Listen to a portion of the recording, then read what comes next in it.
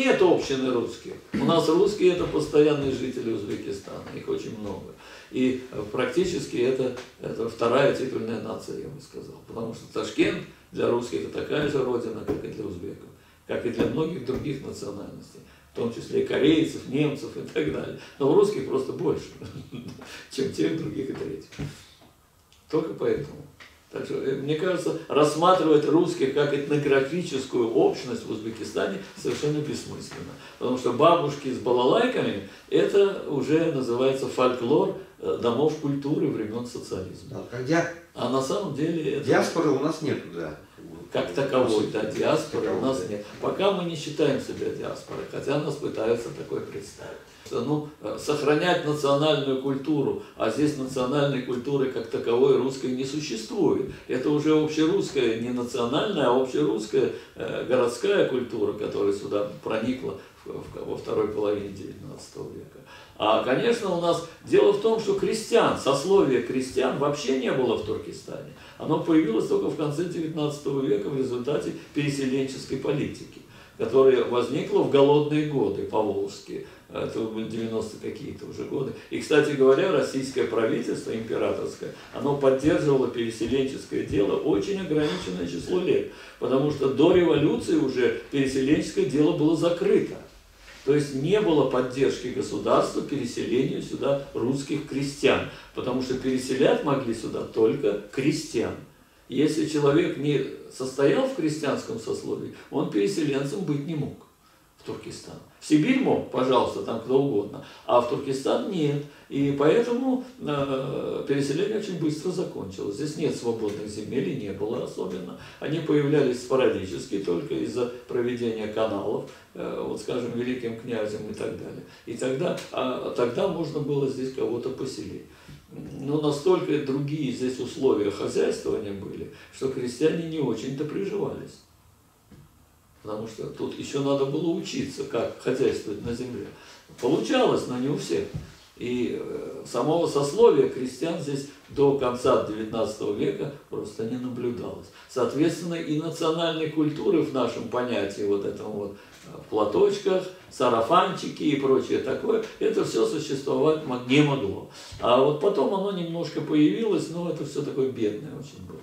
А советская э, культура, которая на это делала, значит, это, это упор, э, создавая вот национальные оркестры, балалайчников, они, так сказать, были далеки от национальной жизни. И в России и здесь. Вот, э, потому что во многих местах они искусственно созданы были. Вот, и, естественно, этого здесь не прижилось. Поэтому здесь в этом смысле говорить бессмысленно. А так, конечно, российское население здесь очень быстро росло семимильными шагами. Связано это с освоением Туркестана, созданием российской провинции здесь, так сказать, определенной, совсем по другим законам и так далее. Русские – это завоеватели, которые хотят, чтобы за это еще их любили. Все народы дистанцировались от завоеванных, всяких там французы, англичане.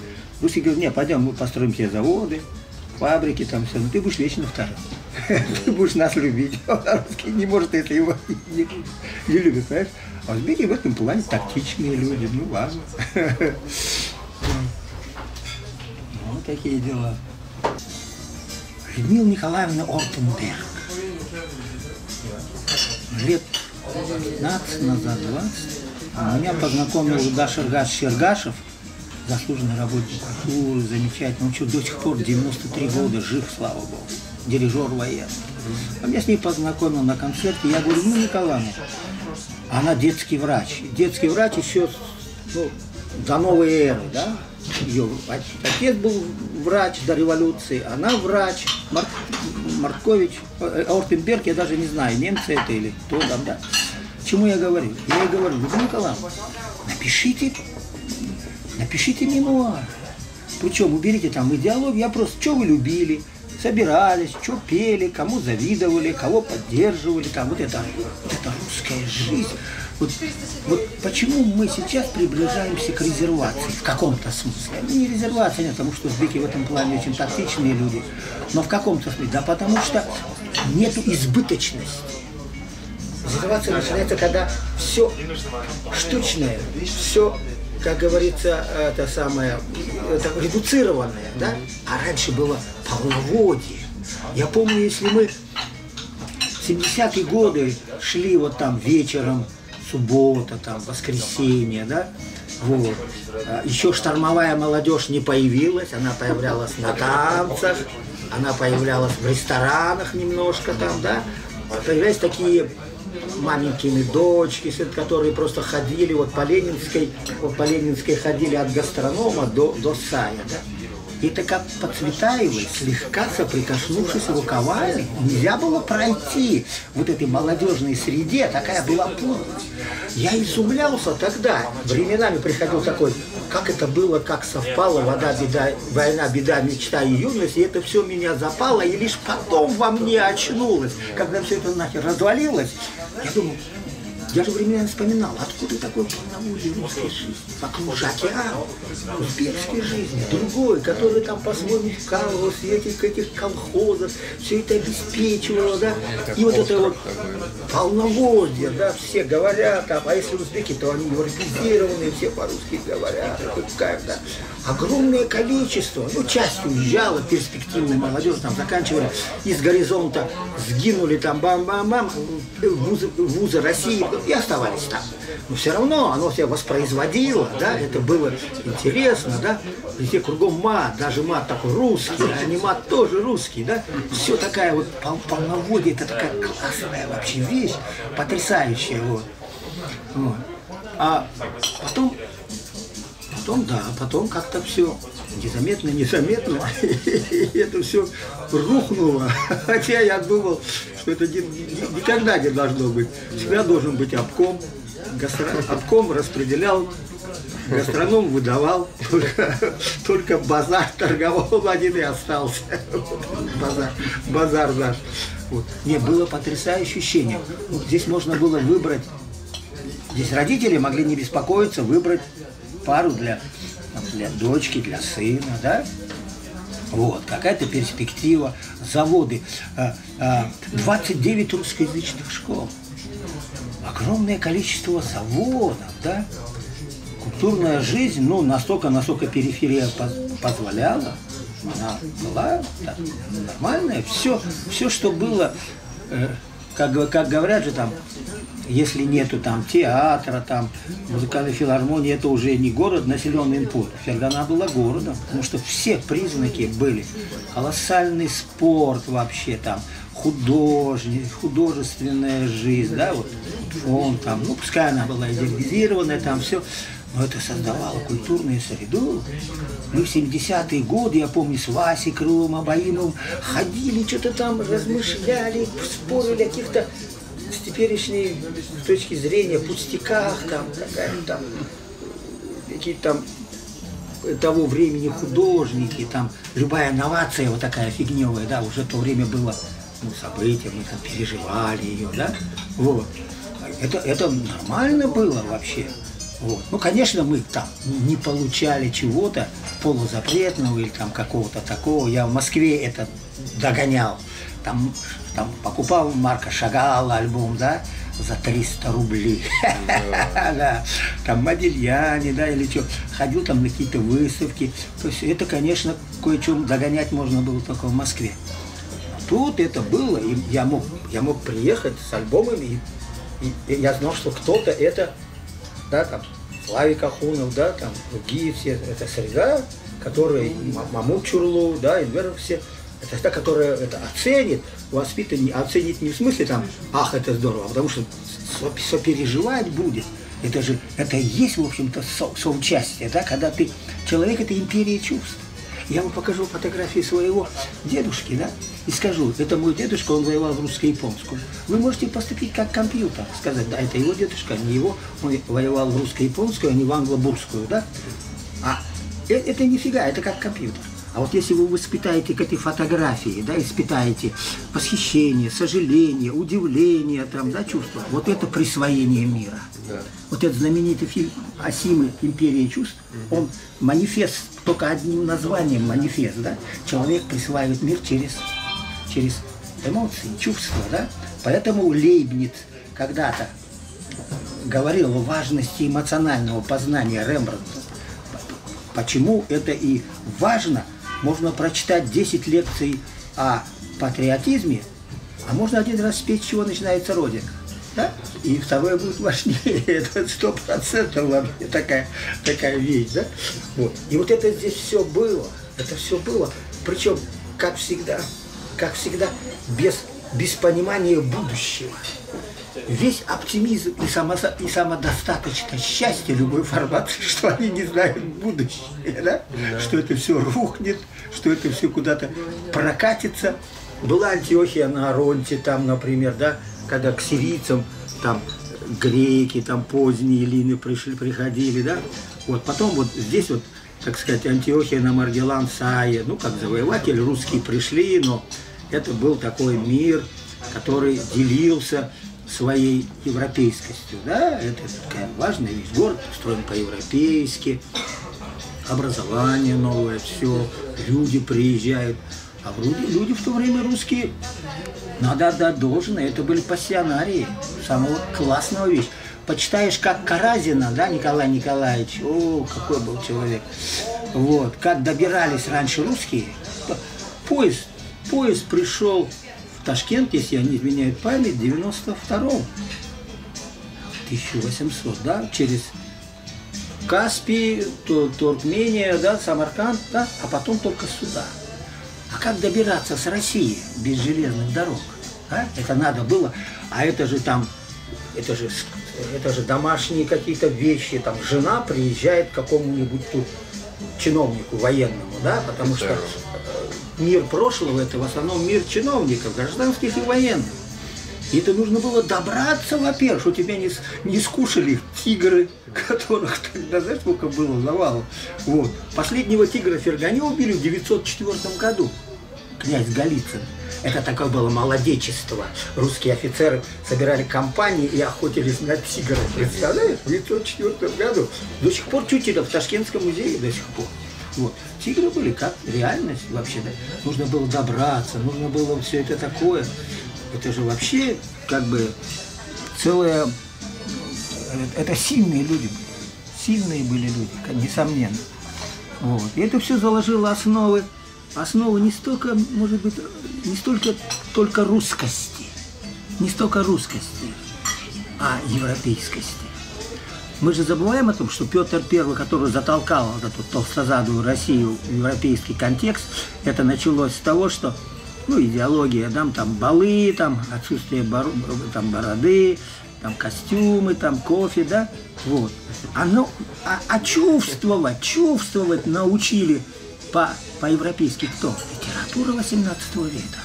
Голдсмит, да, это, э, Галамбер, Вольтер, Руссо, Филдинг, да, это предлагалось клише, то, есть то есть продавался код, а ты должен, а литература его раскодировала, как реагировать на эту сету, на, на эту, и в результате и, и барышни, и не барышни получали чувственный опыт европе, опыт чувственности европейского, э, так сказать, э, природы. Вот.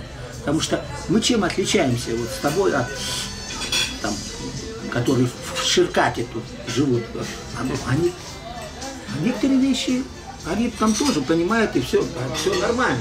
Но они чувствуют по-другому. Поэтому это вот начинается основа. А потом идет тоже, я говорю, простые вещи, ощущения, когда рождаешься в среде, где твой язык, который ты понимаешь. Вот. Русский язык же это, что не говори, все-таки богатейший язык, и все, узбекский язык тоже богатый но просто он меньше варился в сфере современной литературы. А русский язык, слава богу. И это, вот на этом языке можно было говорить, там все.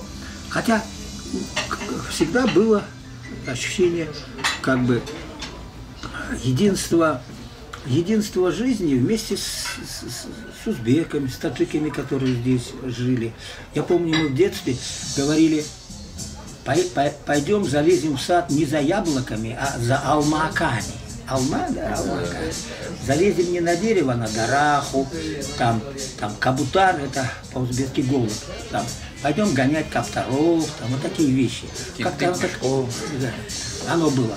Но что интересно, я заметил, какая разница, когда русские отсюда поуезжали, появились дикие горы, какие-то одичавшие. Русский подросток, тинейджер, да он бы, он бы покончил с собой от сознания того, что это где-то есть, и он это не сломал, не достал, не поднял, понимаешь, это было это активность профессионала, да? Можно было пойти куда-то туда, можно было туда. Такой мир был активный российский, поэтому голубей не было, и всех бы скушали, пере, перебрали, продали бы и так далее. Это, это другой способ существования в мире у русского, понимаешь? Он, он сыграл свою роль, когда мы, обороняясь от врагов, завоевали одну шестую часть планеты. Это все здесь тоже, конечно, сказывал. На, на бытовом уровне немножко, конечно, национализм был, но это так, как некоторые симптомы иногда. А так идеология играла свою роль, и, имперский русский, в каком-то смысле, я уже в сегодняшнем говорю, он очень, он очень внимательно относился ну, к тому узбекской жизни, которая ему нравилась. Ну, вся кухня, да, плов там и все дела, вот эти все все это запросто принималось там. Вообще, русские почему как комфортно себя чувствовали здесь и почему вспоминали это там, в России? Потому что первое, получили право остаться самим собой. Все было под-русски. Идеология, промышленность, там все, да? А комфорт. Не нужно было язык учить, не нужно было то, все. Второе, э, это первое, они получили то, что у них было в России. В России они тоже были сами собой, да?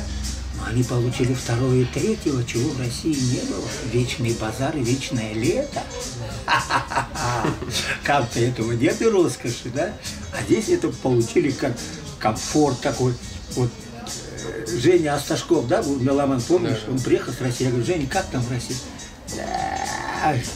Как вот где-то в апреле солнце выйдет, думаешь, вот до октября, фиг там, на три часа. И все, а потом начинается, вот, как я помню, когда попал к вам в Петербург, я пошел туда, Петропавловская крепость, ну, настроя было, идем, идем, впереди какие-то девицы идут. Ну, а молодости что интересует, да?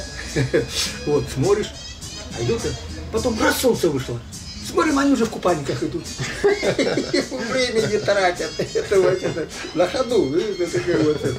Поэтому вот это, вот этот комфорт, вот этот комфорт, когда э, вообще здесь тепло, там лето, лето сплошное с марта там по, по октябрь, по, по, по ноябрь даже иногда. Это большую роль. Ну и вечный базар, это только сейчас, это только сейчас на базаре из какой там виноград из, из Перу, Перу, да, а раньше это все здесь, на базаре было, играло роль. И до революции тоже были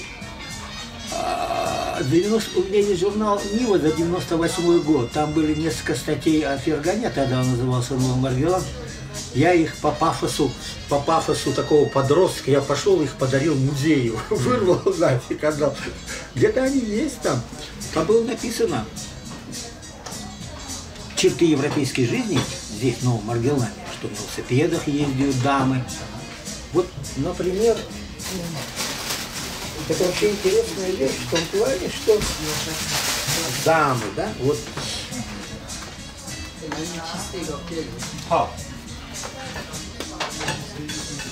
дамы, это значит, вот, это, это, это уже признак э -э эмансипированности, да, это эмансипация вообще, когда в городе, в городе, да, дамы ездят на велосипедах. Причем что-то наподобие велодрома. Это 1898? Нет, нет, это чуть позже.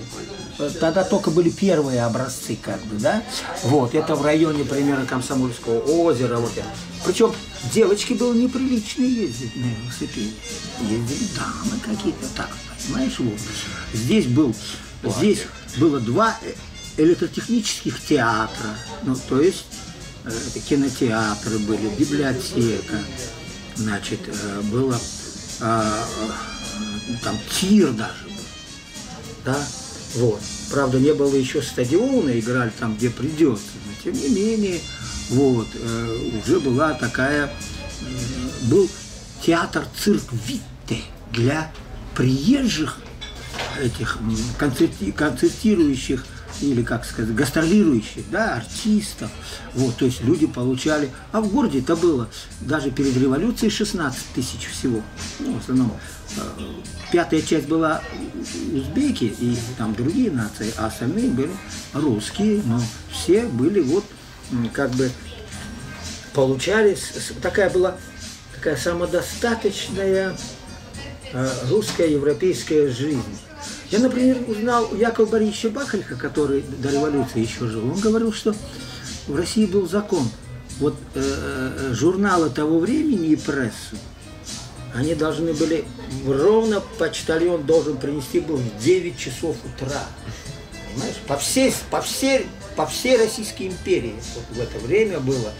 И вот эти там знаменитые газеты того времени, где там печатались там Саша Черный, там, например, да, там, или э, кто-то еще.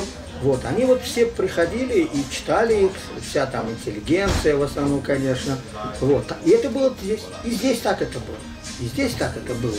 Все-таки была мужская гимназия, женская гимназия, про гимназии были. Вот тут мы ее посмотрим там потом. Пойдем, женская гимназия, контингент преподавателей, там девушки, все, мужская гимназия. А когда это есть, мужской гимназии, какой уровень был не только преподавания, а, так сказать, культурного такого оформления своей жизни.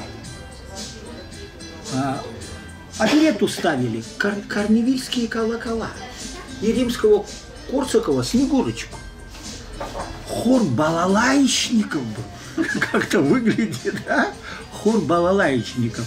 Они в военном собрании устраивали целые концерты с большой программой.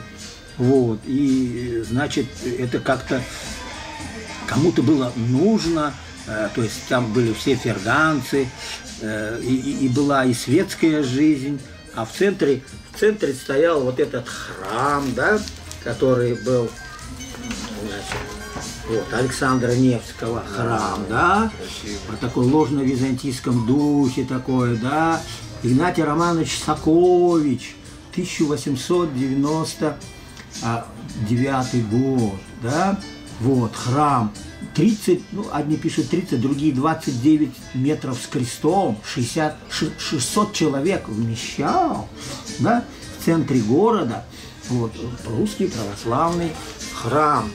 А, вот, значит, и была и церковная жизнь, и светская жизнь, вот такая некоторая самодостаточность. Но какие были губернаторы? Город назывался Новый Маргелан. Он, вот, так, вот нюанс такой, да? Сам Михаил Дмитриевич Скобелев, это мало кто знает. Он был сначала назначен губернатором э, левобере- э, правобережья Фер- э, э, э, Сырдарья. Долина всегда делилась на правобережье левобережье. Правобережье тогда уже было завоевано русскими, а левобережье было вся в восстаниях, в, в войне. Его назначили там, он уже получил генерал-майора, при завоевании он был, кстати, полковником. Так вот, губернатором, вот, и, и ставка его была на Мангане. Вот. Я к чему это говорю? В том, что он уже, став губернатором целый год, военным губернатором, а разница была такая. Генерал-губернатор в Ташкенте заведовал всем Туркестанским краем, и он не мог быть в чинном меньше генерала. А здесь мог быть и полковник, и генерал, военный губернатор. Он быстро понял, что нужен какой-то русский город здесь. Потому что, э, потому что русские здесь встраивались в уже имеющие города. Маргелан, Какан, в основном Какан, Тандижан, там, Наманган. Нужен был новый город. И он в октябре 76 года на- на- на- подал записку генерал-губернатору Константину Петровичу Кауфману, что нужен новый город. Вот. И, но он не успел. Есть такой миф, что он причастен как бы к строительству города. Нет, нет. Он инициатор создания нового города. Шест- шест- да, А Скобелев? Скобелев, Скобелев. А м, м, 6 февраля 1977 года его уже от- отозвали на театр военных действий с турками. Вот, он там прославился, Шибка Шейнова, да, вот. А город строил уже Александр Константинович Абрамов. Другой губернатор, их всего было 11, вот. Но к чему, какой нюанс хочу сказать. Он предлагал построить город, хотел его назначить Ферганск. Ферганск, вот так. Потому что Фергана всегда употреблялась в смысле региона. Нет, например, города Хорезм, нет города Сагдиана, да? Это все историко-культурные регионы. Так и Фергана раньше, только в значении долина. Он предлагал Ферганск. А там, когда он ушел и когда комиссия Александра Константиновича Абрамова искала место для нового города, создала комиссию, там все дела, 30 мая, вот нюанс, они подают записку Константину Кауфману, проект устройства нового русского города под Маргеланом. Да? 18 июня, это день рождения города, 1877 год, выходит указ, который пишет о строительстве нового города. Русского убрали, чтобы не травмировать. В Ферганском не назвали, чтобы не травмировать новый Маргелан. Нюансы вроде бы, да? Все учитывали, все учитывали, да? Вот. И после этого вот там началась уже другая. Среди губернаторов были исключительные люди, исключительные. Я уже не говорю про Михаила Дмитриевича Скобелева, это европейская мировая величина. Александр Константинович Абрамов, да, который вот начало города. Николай Александрович Иванов был тоже. А потом был Николай Иванович Корольков, генерал-майор. Это был, это, это был человек, любитель ботаники. Ну какой любитель? Член зарубежной академии, да? в честь которого названо два десятка э, растений и даже родов растений. Тюльпан Королькова знаменитый, там еще какие-то вещи есть. Вот. Павла Швейковский. Потом здесь было восстание Дукчи и Шона в 98 году в Андижане. После него сняли Павла Швейковского, поставили Андрея Петровича Чайковского. И с этого времени увеличился контингент войск здесь, на, на случай, так сказать, каких-то таких восстаний. Но после После Андрея Петровича Чайковского с 901 по 904 год был Георгий Алексеевич Арендаренко. Представляешь? Это человек, который был опытным администратором, военным, который написал целый цикл статей «Досуги в Туркестане. Личная жизнь Худаяр-хана». Час, а частная жизнь Худаяр-хана, где узнаешь нюансы жизни последнего каканского правителя со всеми нюансами и там с какими-то вещами, которые не очень принято писать там, да, там другая, там селение Буадыль, там андижанское землетрясение. Это, это были люди образованные хорошо. Достаточно сказать, что, например, один из губернаторов, генерал-губернаторов Градеков, кажется, в 92 году перевел с французского знаменитый труд нашего соотечественника Маргеланца Бурхануддина Маргелони, который назывался Хидои. Это религиозно-юридический трактат. Он его перевел, там несколько томов, с французского на, так сказать, на русский, да, сделал достоянием, вот, все. Вот такой уровень был э, образованности, по крайней мере, некоторых администраторов вообще. Потрясающая вещь. Потом были другие. Интересная история. После, после Николая, после э, Георгия Алексеевича Ангаренко был Покатило. При нем была 905 там год, революции всякие, на него покушение было. И здесь был базар, который построил Иван Иванович Аксентович. А Фергана это детище архитекторов, да? Эдуард Алексеевич Брун, Георгий Михайлович э, Сваричевский, э, Бордовский, значит, э, Синклер. Вот. И вот а, этот человек, Иван Иванович Аксентович, судьба, нифига себе. В России за революционную деятельность был приговорен то ли к смертной казни, то ли ссылке, сейчас не помню. Его сослали, разжаловали солдаты, сослали на театр военных действий в Среднюю Азию. Он тут э, так себя проявил, что ему вернули офицерское звание. В 98 году он вышел в отставку, стал, стал архитектором Ферганы и построил вот этот базар, который не имел аналога в российской вообще империи. Потрясающий базар был, да? Так он умудрился к соблазну в 1905 году, революционный соблазн, и он опять загремел, его арестовали.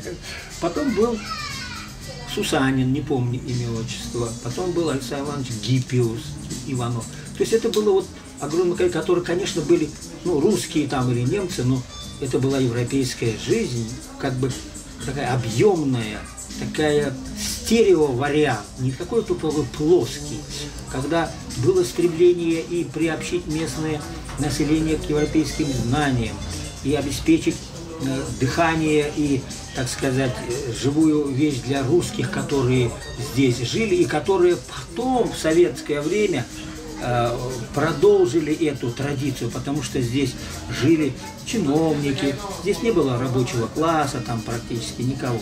Вот, чиновники военные и гражданские. Вот это вот, они получили потом русскую жизнь, русские привычки. Э, вот. А город был такой удобный, комфортный, европейский. Кстати, где-то я читал, что русская архитектура, вот именно колониальная, отличается от русской там, в России. Вот. Вообще концепцию европейского города сюда принесли русские, который являлся вот с улицами, озеленением. Здесь современный тот, тот город, который был до этого, это был город ну, с такой хаотической планировкой, маленькими улицами. Это все европейское детище. Вот. Это статья, кстати, академика а, Хакима Акбарова, да, он знал, что писал, знает он, слава богу, жив-здоров. Вот, так что здесь многое чего пришло так незаметно, что это казалось само собой разумеющееся. И вот так русские жили, послевоенные. Я некоторых знал, которые здесь э, родились уже вот в такое родились там, скажем, 900-е годы, и есть такие семьи, которые в пятом поколении ферга, в пятом поколении. Вот Толкунову, например, Великанов, вот Юрий Великанов недавно умер, э, такой выдающийся был футболист. Есть семьи, где в пятом поколении Мои там предки приехали в 30-й год, а здесь вот такие были, они вот заполучили. Вот. Был такой Неуструев один Николай. Мы с ним во время матчей сидели и болтали, смотрели футбол, болтали. Он пацаном, как они были пацаны, то есть, ну, Фергане все. А Фергане, э, ну, было, были люди, они как бы генералы, в России же было много почему генералов? Оказывается, все офицеры при выходе на пенсию отправлялись на пенсию с повышением на один, как сказать, град. Поэтому навалом было. И вот Георгий Мих... и вот значит, Краснослободский генерал был. Он был начальник налогового поземельного управления. Он был любитель цветов. И вот Неуструфовка, что мы к нему залазили за цветами, садовод был. Кстати, он где-то в 90-е, вот, в 1900-е годы посадил кофейное дерево. И оно принялось и замерзло только в 1969 году. Вот такой сорный вариант, не такой там какой-нибудь касики, а да, вот такие были люди, которые значит, занимались садоводством, там, баронесса фон Таден, там Янсен генерал, ну, прекрасные вообще этюды, там ферганы, там зимние не зимние, там в парке, вот какие-то. А парк, парк, генерал, генерал Николаевич Коротков, он любитель был ботаник, цветов и все такое, и создал такой замечательный парк, где были лианы, тропические, вот такое разнообразие. Все две трети разнообразия парка, к сожалению, погибло во время гражданской воды от недосмотра. А до этого парк, а что такое парк? В те годы он назывался городской сад. И это, это, это, это, во-первых, субботняя и воскресная жизнь. Это гонки на велосипедах в сквере, это военный оркестр и интеллигенция, которая его слушает, там гуляет, да, вот. Это, в конце концов, там озеро, там озерцо, вот, с озерцом, кстати, к озерцом такой момент советско, такой интересный. Я писал статью о парке, и маме моей говорю, была она жива, я ей говорю, мам, мне говорили, что там было озерцо во время войны, где школьники катались на коньках. Она мне говорила, она сказала, Саша, я была из бедной семьи, мы жили на окраине города. Там могли кататься только дети юристов, врачей, понимаешь. Потому что это коньки, это ботинки, да? Я, я не знаю, она сказала. Такой момент, да, когда история проходит через, через мою семью, да, мама она, она там, она в школу ходила, ей не могли дать деньги, там, давали там, хлеб с сахаром, там, да, а еще была сестра, еще брат был, да, бабушка была неграмотно работала, дедушка там тоже, э, там простой был, да, это вот такие вот, потом тетя стала там химиком ведущим, там пап, мама главный инженер, там один дядя там тоже главный механик, вот такие вылились, вот это целая такая, это характерно было не только для нашей колоссальное количество здесь людей в советскую эпоху, да, они вот так вот как-то вышли, какие-то люди в интеллигенцию, в эту, да, и потом продолжали здесь создавать вот эту, воспроизводить русскую жизнь, да, это и в твоей семье там было, и в вашей там, вот, если брать тебя, там, братьев, да, и маму там, вот, это абсолютно характерная, вроде бы, советская матрица, но она была была. Это, это было все. Вот это интересная вещь. Она попала мне лет 10 назад. Это виньетка, первый выпуск женской гимназии. Именно Новомаргеланской. Здесь слово «ново» пропущено, Маргеланской. Интересная деталь. Педагоги и учащиеся, да, но нету подписи. Почему? Потому что они думали тогда, но я же знаю, что это Лариса, а это Люда, что это Николай Иванович. Да, и, и, и теперь это, как сказать, для нас как, головоломка, да. Это я знаю, что это Знаменский, это директор там, да. Это Кривошейна, главная надзирательница. Это Михаил Николаев. Михаил Николаев потом был э, священником там. А других, например, некоторых я не знаю, и тем более вот этих э, девиц. Это 904 год. Вот. Э, и такая была первая виньетка. А вот эта жизнь студенческая, это, вернее, это, стоит это записать, вообще с образованием школ, с образованием гимназии, а здесь были гимназии и про гимназии, ну, про гимназии на один год просто меньше было. Вот, какой момент? Это, это, это, это жизнь учащихся, это, это подростки, это, это все, это особый, особый мир, да? Причем Занятия были, оказывается, с 15 августа по 15 июня. Не с 1 сентября. Это так вырубало, вот когда слышишь. Ну как пойти раньше, как будто ты не доотдохнул. да? И, короче, потом были большие каникулы, рождественские и пасхальные. Вот. Причем классный руководитель появлялся, например, учащимся и говорил учащимся, что там в городе будут показывать фильм «Кармен», два было, театр был Аполло и театр Макса, электрический театр, то есть кинотеатр.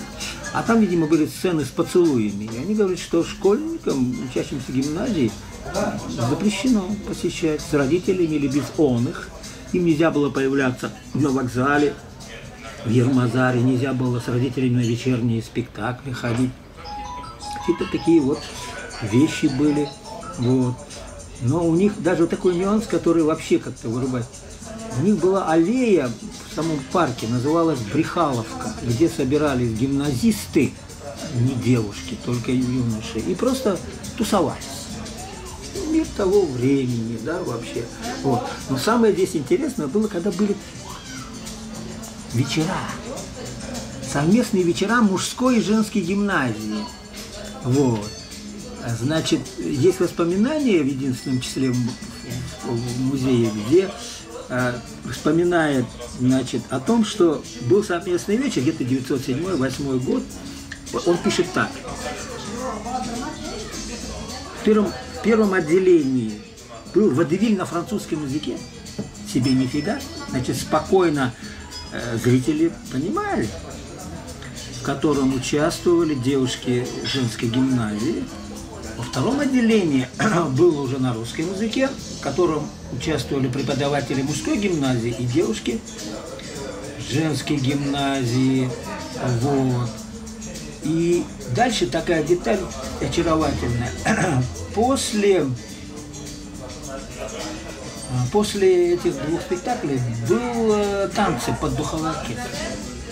Я ушел бы, но на танцах была Таня Слотская, дочь полковника, красавица, о которой вздыхала половину гимназистов нашего. Где ты, Таня Сулот, какая у тебя судьба? Если ты 907-8 год, то к 17 году ты уже должна была выйти замуж, родить.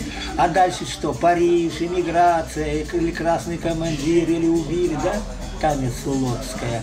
А вот через этот жест, вот, человека, который оставил эти воспоминания, да, тот остается, да, гимназии, театральные вечера, там духовой оркестр. Да? Даже салют был на Маргелан Саре.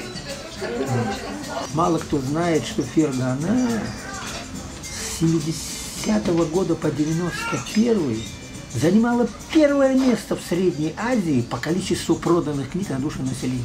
Всегда второй была Алма-Ата, и всегда третьим Ташкент. Мы были всегда первыми.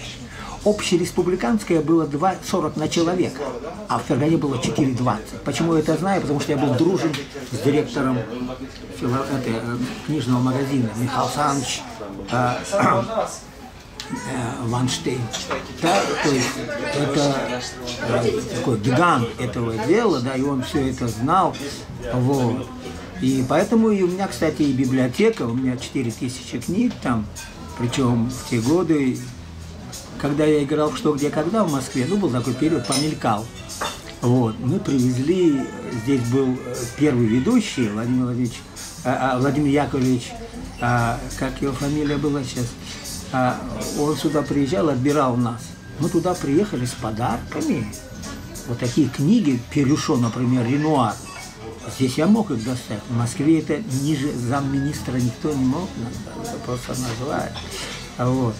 Поэтому кстати, мы ему привезли в подарок и эту такую вещь, которая вырубила его больше, чем там. Он был уже человек в славе, у него был Мерседес, там он три академии закончил, да. Ворошилов Владимир вот. Но мы привезли ему в подарок, это был май месяц, а он уезжал 3 апреля, когда все цвело, э, вишня, черешня, да, цвела. А мы ему привезли черешню скороспел. Это было, это было 2 мая, мы привезли, а значит, он 3 апреля уезжал. И он говорит, Нурали, что это столько в холодильнике пролежало? Он говорит, да нет, это с дерева. Чепуха, не может быть. Как это, это, это сказать, да, генерация, это вегетация, да? Нет, уже была, скажем, это, кстати, очень важный вопрос пускай она останется, то, что я сейчас скажу, у нас все время забывают, когда говорят, что Россия всегда крепостное право, и говорят, что по сравнению с Европой отсталась. Да, был период, когда надо было бы, может быть, раньше его закончить, но почему оно возникло? Потому что вегетация в нашем поясе всего 7 месяцев, а в Европе до 9. И поэтому зона рискованного земледелия, а когда государство разрасталось, необходимо было большое количество налогов. А Россия это урожай, не урожай, урожай, не урожай. Люди налоги убегали, всякие казаки, мазаки, да. Как осталось закреплять? Право.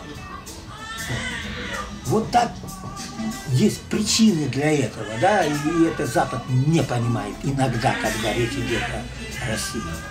Позади нас э, Значит, теперешний Центральный дом культуры, вот, э, с такой широкой деятельностью все советские годы, э, он как бы э, был центром притяжения, а в начале, в советское время, это 20-е, 30-е год, 40-е, 50-е, это было училище.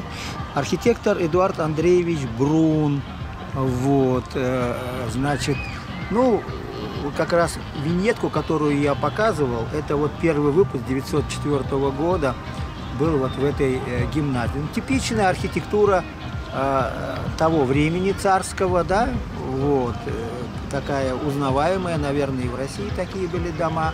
Ну, теперь вот его, ее перестроили. Мы на центральной э, площади э, города Ферганы, позади нас памятник Аль-Фергани. Аль-Фергани, конечно же, город назван не в честь него, вот, а в честь самого региона. В 1924 году его назвали Ферганой. А это памятник великому географу и астроному. Вот. Он э, родился в Фергане, но основная деятельность была в Багдаде, в Каире. Это великий ученый, основоположник проективной э, математической географии.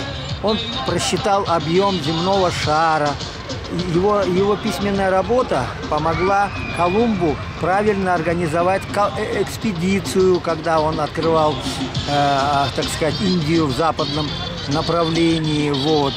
Э, вот, поэтому это великий ученый, и, конечно, э, как созвучный Фергане, и стоит этот памятник. В советское время здесь был памятник Ленину, здесь был сплошной асфальт, и были э, различные демонстрации и парады.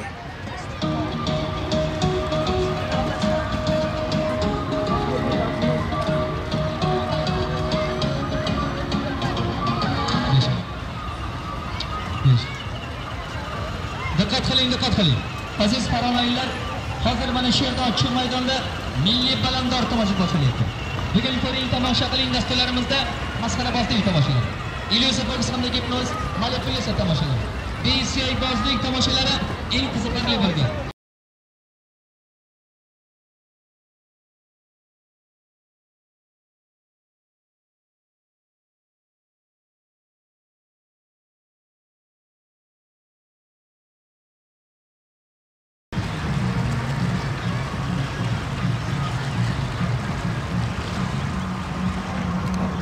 важно говорить в эту сторону, то есть отсюда туда. Вот.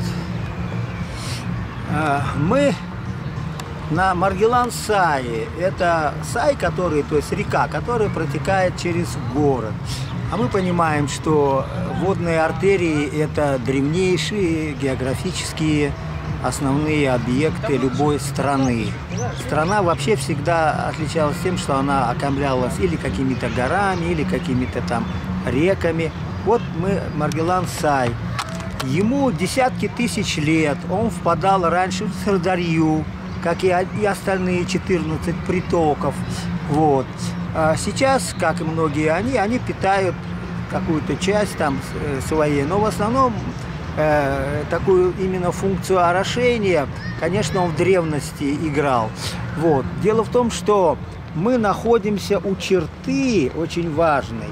Если сейчас посмотреть вот в эту сторону, посмотреть туда, да, то это была э, Айкумена древнейшей Ферганы, потому что, фер, здравствуйте, Фергане как городу русскому 142 года, а поселению на месте Ферганы, которое называлось Сим-ТП, более 2200 лет. И мы, собственно, делаем панораму бывшего э, поселения Сым-ТП. А здесь была та река, которая снабжала его поля водой. Вот, ее забирали выше по течению. И поэтому вот, э, археологи делали раскопки. Огромные хумы и другие предметы материальной культуры находятся вот в этом музее. Вот мы находимся около областного краеведческого музея. Вот. Нового здания.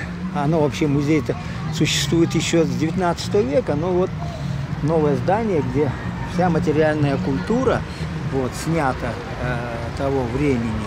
Вот. Но вот это очень важный момент насчет СНТП. То есть, получается, у города есть как бы две даты.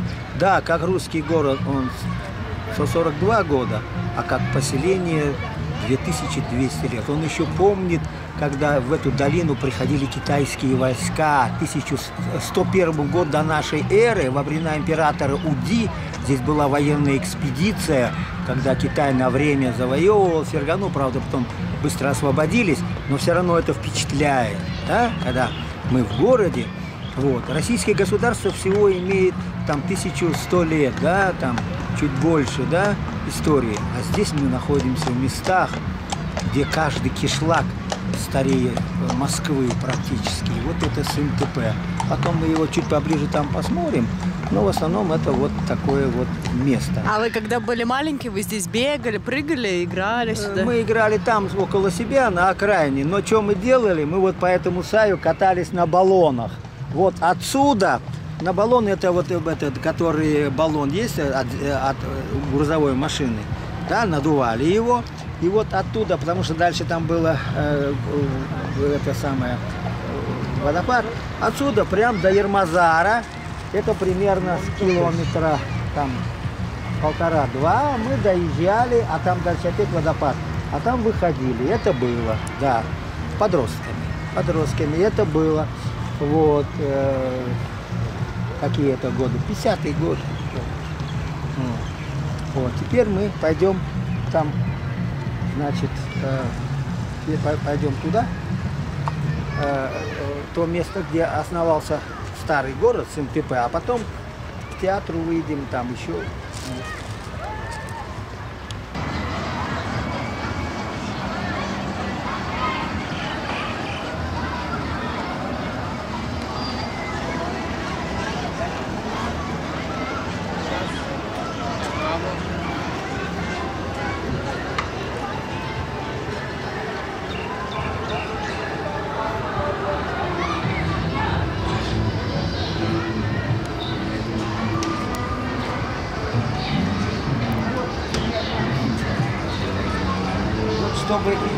колесо, и в ту сторону, вот так.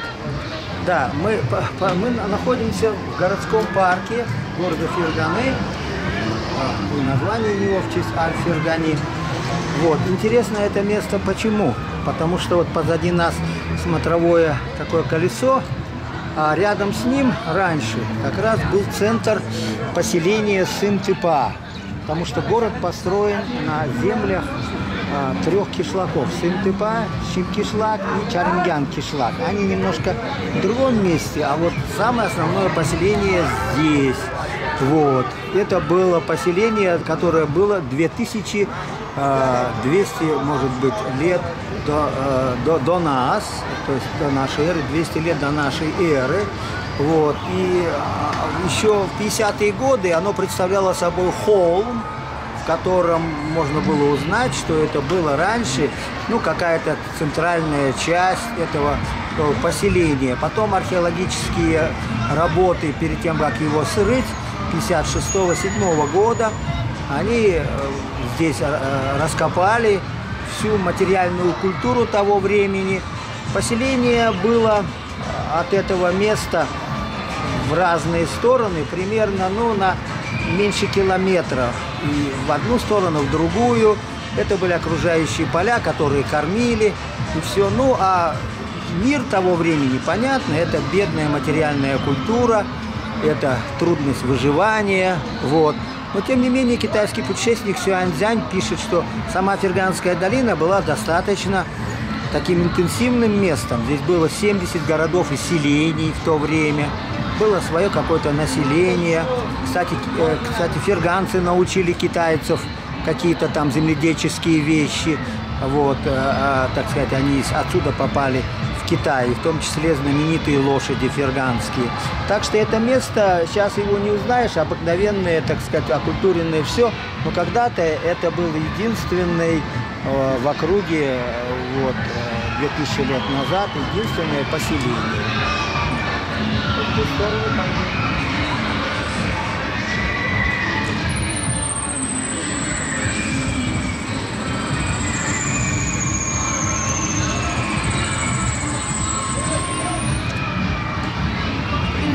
Осталось три, три объекта, и мы на этом закончим.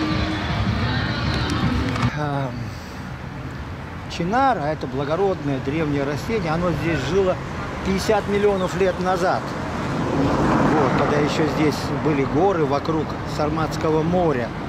Вот, вообще ферганская, несколько слов сейчас скажу об этом. Вот э, мы заговорили о деревьях, о чинарах, благороднейшее растение, благороднейшее дерево, которое и в Берлине, и в Париже, и у нас оно основа нашего города. Ну, оно частично пострадало, когда расширяли там улицы, вот, но все-таки на, на многих улицах еще это осталось. Вот. А чинары здесь росли еще 50 миллионов лет назад и раньше. История Ферганы, как местности, это часть Ферганской долины. Ферганская долина 600 миллионов лет назад представляла собой всего лишь дно океана Тетис. Примерно 230 миллионов лет назад, начиная с Триасового периода, здесь начался озерный период Ферганской долины – это озера пресноводные, это знаменитые большие крокодилы, это динозавры. Вот где мы сейчас стоим, это бегали динозавры. Кстати, многие академики советские в то время как раз защищали диссертации на материале ферганских ископаемых. Да? Вот, это все, это 230 миллионов лет назад. До 66 миллионов. Потом опять морские воды сюда пришли, и Фергана стала заливом Сарматского моря. А примерно 20 миллионов лет назад вода ушла, и началась уже суша, такая капитальная. И окружающие горы стали подниматься, и как бы история Ферганы, а уже начиная примерно с миллиона лет здесь появились первые палеантропы, вот, потом уже, видимо, неандертальцы, и уже вот э, верхний палеолит 40 тысяч лет назад, это уже Homo sapiens, это уже сначала различные, э, как сказать, э, археологические культуры, вот, а примерно со второго тысячелетия до нашей эры пошли земледельческие культуры. Вот. История Ферганы – это взаимодействие земледельцев, местного населения, и кочевников различного рода, когда они одомашнили верблюда и одомашнили э, лошадь. Вот. И вот их история взаимодействия, это и есть история Ферганской долины как региона, в которой потом возникали города. Здесь каждый город, там Ошна, Манга, а, Андижан, там Маргелан, они им больше двух тысяч лет. Вот. И вот про СНТП, который мы говорили, оно такое же.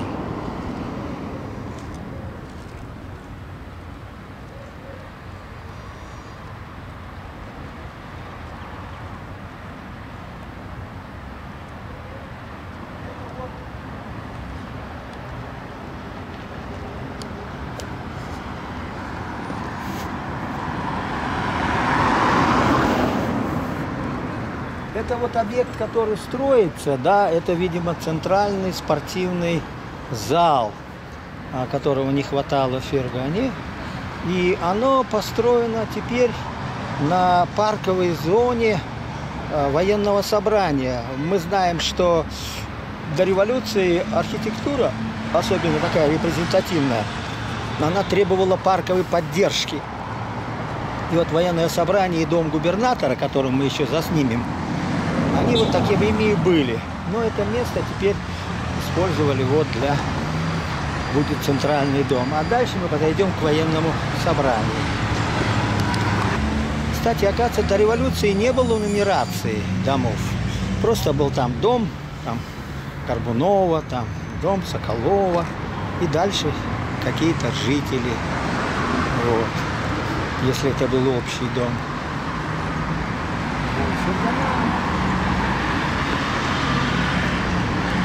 Сейчас я скажу несколько слов, когда мы станем там. Позади меня одно из знаменательных зданий Ферганы, вернее, зданий Нового Маргелана, Скобелева, Ферганы. Это военное собрание, позже Дом офицеров. Архитектор Синклер. Какого уровня давали образование в царской России, что человек, сидя в палатке, спроектировал в 1978 году такое замечательное здание, репрезентативное, лучше которого только появились, может быть, в 30-е годы кое-где и то. Военное собрание, здесь были офицеры, здесь они проводили время, но здесь была и культурная жизнь, здесь были замечательные вечера, русской, как бы, вот этой диаспоры, которая здесь была, вот, устраивать театральные, музыкальные, выступал там какие-то коллективы того времени. Позже, вот, город, а, город, когда возникал, он возникал по стандарту э, военно-административных центров России. То есть все города такого плана имели крепость, и она уже сейчас почти сошла на нет. И вот так э, радиально значит, от него веером расходились основные проспекты.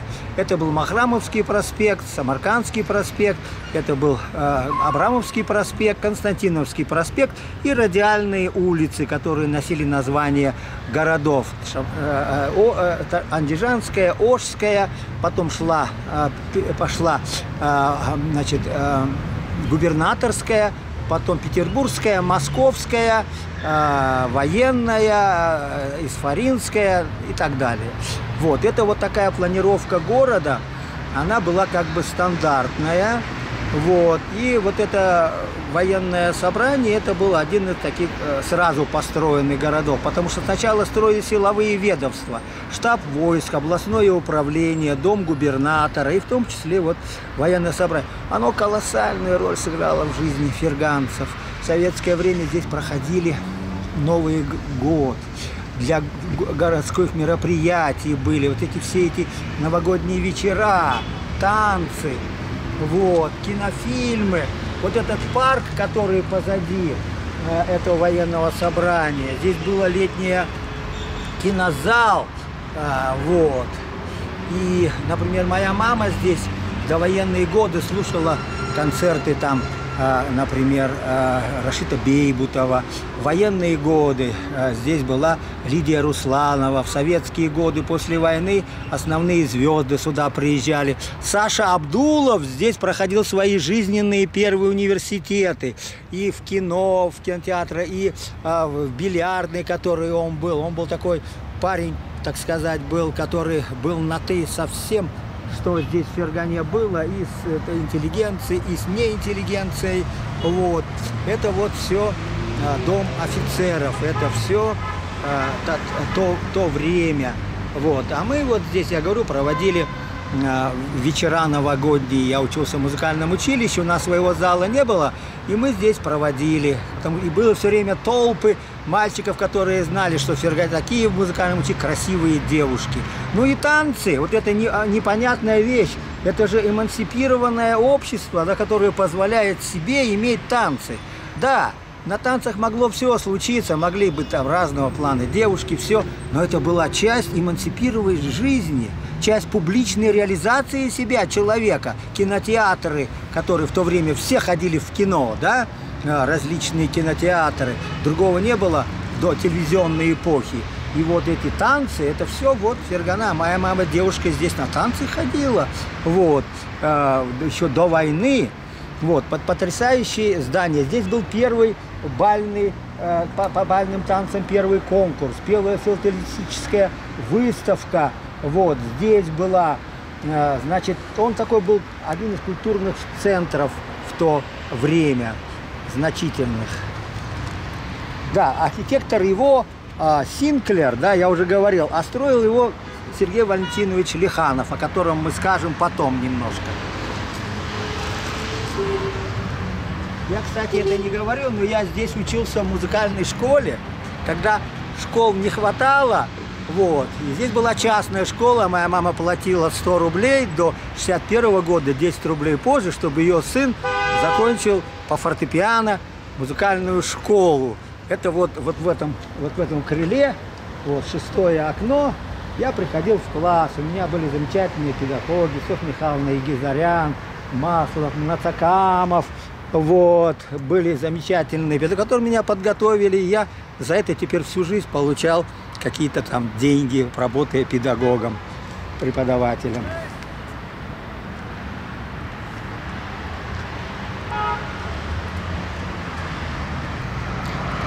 Перед нами панорама, позади далеко университета, то здание, которое появилось уже в советское время, в 30-е годы. Вот. Но оно же было на базе э, мужской гимназии, о которой я скажу несколько позже. А, кстати, кстати, вокруг вот этот пояс, здесь со всех сторон улиц жила чиновники, интеллигенция. С той стороны, с этой, с этой. Вот, жили э, те люди, которые вот составляли костяк ферганской власти. Вот. Вот. Сейчас их уже, конечно, там нету, все, да и домов тех нету. Уже совсем другая архитектура, другие значения.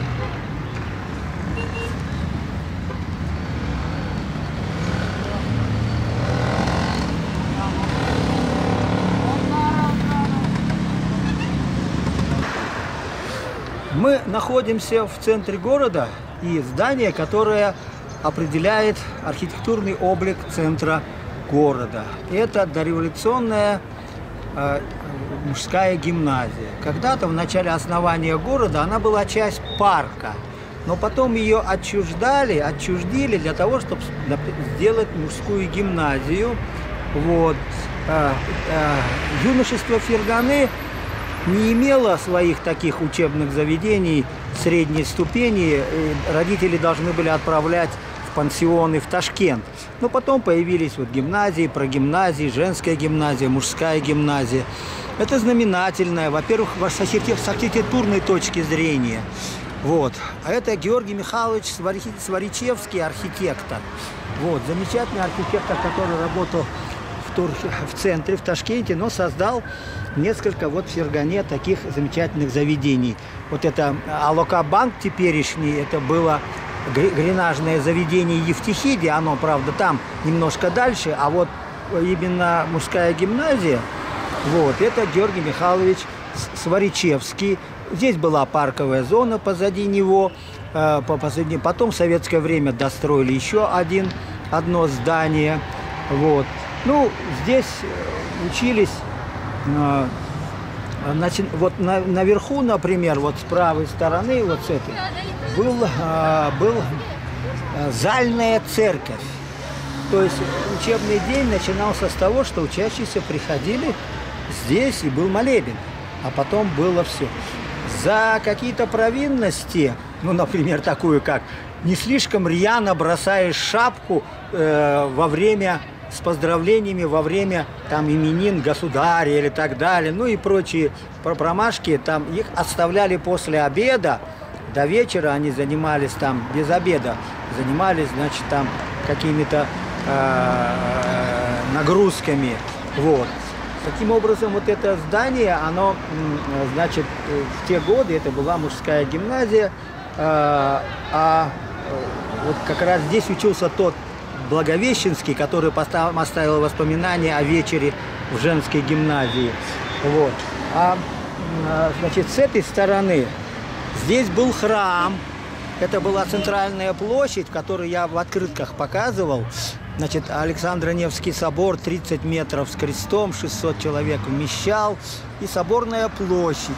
Справа от этого храма, в ту сторону, сейчас его нету уже, было областное управление, штаб войск. С той стороны были другие силовые ведомства, было Э, значит, э, поли, полицейское управление, был банк, была почта. А там дальше будет, о чем у нас еще разговор, была резиденция губернатора, который э, руководил всей Фер, Ферганской долиной, которая называлась Ферганская область.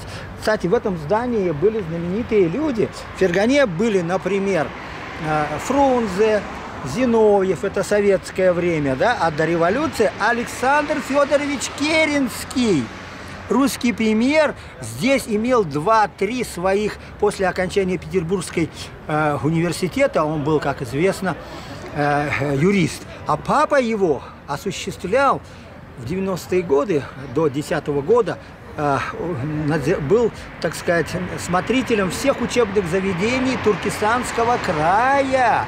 И он учился в Ташкенте в гимназии Александр Федорович Керенский. А ведь до этого он был где? В Симбирске да, где Ленин был, это он дал Ленину отличный аттестат, у которого четверка была по логике, да, и дал лучшую характеристику в Казанский университет. И потом он попал сюда, тут его сын, значит, учился, а потом здесь у него были дела. Вот. А с архитектурной точки зрения Фергана как и вся жизнь в Фергане, делится на дореволюционную, советскую и эпохи независимости. Вот перед нами, а, пожалуй, центральное здание архитектуры дореволюционной Ферганы и советской. Вот. Сейчас оно уже такого музейного характера, что ли. Это, э, значит, резиденция губернатора Ферганской области, в которую раньше входила вся Ферганская долина. Было 11 губернаторов, начиная с Михаила Дмитриевича э, Скобелева, который Фергану не строил, но был инициатором создания Ферганы. После него был э, э Николай Александрович э, э, Иванов, потом был Корольков, э, потом был Павла Швейковский, Андрей Петрович Чайковский, Георгий Алексеевич Арендаренко, Покатила, Сусанин, Гиппиус и Иванов. Вот эти администраторы, вот, первые 4-5 не знаю, где жили, а остальные жили вот в этом здании, архитектором которого является Сергей Валентинович Лиханов. Это замечательный человек, который работал сначала в канцелярии или, как сказать, в обоими э, генерал-губернатора в Ташкенте, но ушел сюда, чтобы руководить э, строительным отделом и архитектурным Ферганской области. Вот он создал такое замечательное здание, репрезентативное. Вот. Здесь была резиденция губернатора. Первый этаж был пере перестроен вот, под нужды театра, фойе, а до этого был, э, здесь был э, двор, это, кабинет губернатора. Вот. А второй этаж не перестроен до, до сих пор. Там была э, семья губернатора жила. Это очень красивое здание со стрельчатыми такими арками в духе немножко восточном. Вот, сделано. И э, здесь много знаменательных событий, ну, начиная с того, что отсюда шло руководство всей Ферганской областью, кончая тем, что здесь были замечательные вечера. В советское время здесь э, был театр узбекский и русский. Кстати, маленький нюанс. У Майи Плесецкой, по-моему, родственники Мессереры, тут даже умудрилась в 20-е годы в русском театре, тогда он еще как бы был часть узбекского, работать ее тетя. Вот. Здесь, э, здесь э, было э, штаб во время гражданской войны, здесь Фрунзе, который, кстати, знал, э, почему он так ладил с басмачами, ведя переговоры, заставая их сдаться, потому что он прекрасно владел и киргизским языком, и узбекским языком, да, вот такие были здесь. А вот. Ну, а в советское время это царство, в основном 30-е, 40-е, 50-е, это театр, русский театр, узбекский театр, вот. Э, ну, больше всего оно ценно с архитектурной, конечно, точки зрения, это видно. А напротив него, вот в той стороне, там сквер. Вот он, если парк заложен на э, почти 9 лет позже города, то это одновременно с городом. Город в 1977 году, а он в 1978-1979 году был заложен. Интересно, что в эпоху независимости, когда началась, его там перестраивали и нашли клад, вативный клад, который был, на счастье, зарыт при основании города и этого парка, этого сквера. Здесь проходили, я уже говорил, э, велогонки по воскресеньям, гуляния, а, вот. Это, то есть был такой настоящий, а, здесь есть э, такие экзоты, э, деревья, там канадские багряники, Удина там дерево по-другому называется, финик унаби, еще какие-то, я не помню названия. Это был замечательный сквер. Вот, в советское время здесь было по-разному. И детский парк, и просто был тоже сквер. А на углу был пингвин, который построен в 67 году. Это тоже знаковое здание для отдыхающих ферганы все дореволюционное и все советское время. Сейчас вот его как-то перестроили. А вот дальше, на углу, там была улица Губернаторская. Вот это справа от нас, эта улица была Абрамовская в честь э, губернатора, а, а, генерал, губер, э, то есть этого, да, генерала Александра Абрамова. А там была а, улица, на которой находились основные торговые тоже здания, вот, например, с той стороны там был и шляпный магазин, и кондитерский был магазин, и магазин, э, кстати, магазин Кислова, не знаю, родственник он или нет, был галантерейно-модный магазин, и Бреева, и Василиса Герасимовна Мишина, которая книгами торговала. С той стороны там был магазин Гордона, аптечный магазин. Вот. И был э, кинотеатр «Аполло», в советское время знаменитая «Новая эра». Вот. Кстати, который до революции был создан первый узбекский по национальности были все духовой оркестр. А дальше шли магазины, там Захо, Каплана, там они назывались магазин часов, магазин часов и э, ювелирных изделий, э, магазин Воронова, кофейня Якулова, не знаю, где она была, но была на этой улице. Вот такая была знаковая э, улица, э, вот, в основном торгово-магазинная такая была, вот по этой улице, которая называлась Губернаторская, и часть ее была а, Абрамовский проспект.